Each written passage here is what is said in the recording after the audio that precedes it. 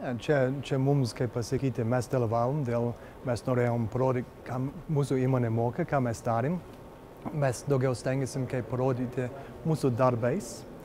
Mes turim labai fainą komandą, labai gerą komandą, kur labai integruoja visus darbais kartu ir mes tik norim parodyti visiems, kaip mes dirbam. Čia buvo mūsų pirmas tikslas. Ir, ir irgi biškai parodyti visas įmonės, kitas įmonės apie mus ir ką mes čia darėm. Mes iš tikrųjų negalvojam laimėti arba nieko taip, mes tik galvojam parodyti, ką mes darėm ir kaip mes dirbam ir, ir viskas ir taip. taip. Ir, ir mes stengsim dar toliau, čia mes stengsim dar, dar toliau dirbti ir, ir žiūrim į, į ateitis, kaip mes galime kuo geriau dirbti. Ir, nu, aš manau, čia mūsų komanda čia jau irgi yra ir mes irgi žiūrim visas kitas prezentacijas ir irgi ieškom, ką daugiau mes galime, ką, ko geriau daryti irgi.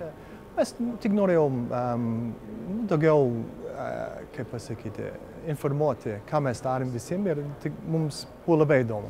Nu, mes dabar galvojam, tai mūsų projektai dabar yra 99% Norvegijoje, uh, bet dabar mes, mes norim um, irgi Lietuvoje biškai daug, daugiau dirbti uh, ir mūsų komanda, maždaug visi, visi yra lietuviai, kur čia dirba ir visi turi tą patirtis čia Lietuvoje dirbti ir mes irgi uh, dabar stengsim irgi po biškai, po truputį iško projektas, kur čia Lietuvoje yra manoma irgi.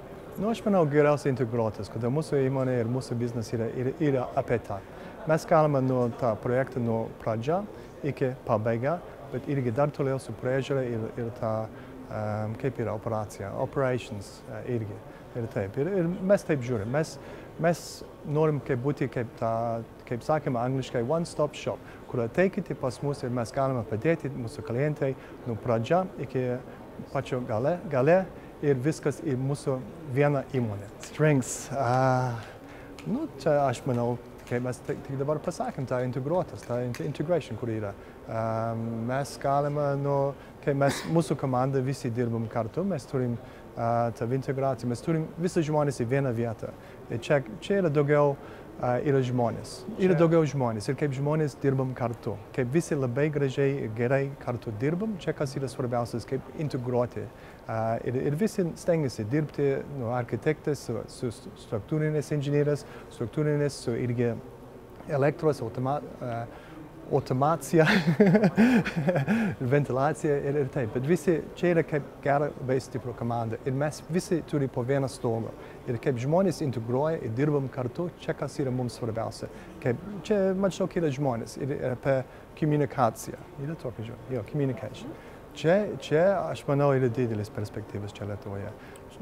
Čia daug įmonės dabar naudoja šitą bimą ir čia yra, yra ateitis.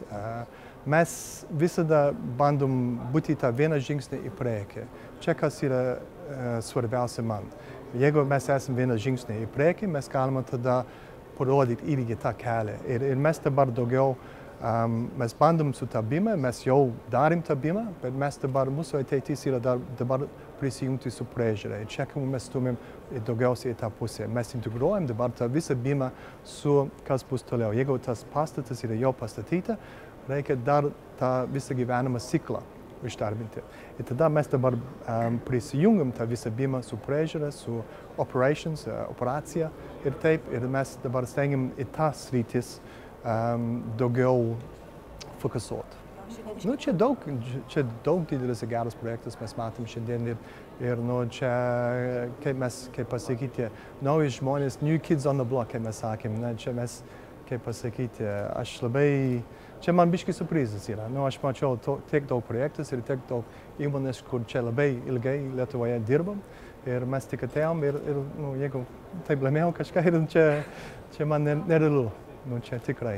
Čia mes stengiasim, kaip mūsų darbas, ką mes darim, tą, tą, tą direction, tą, kaip direction, kai mes kreipiasim, yra, yra teisingai pusė. Čia tik mums rodo, mes, ką mes darim, yra į tą teisingą pusę.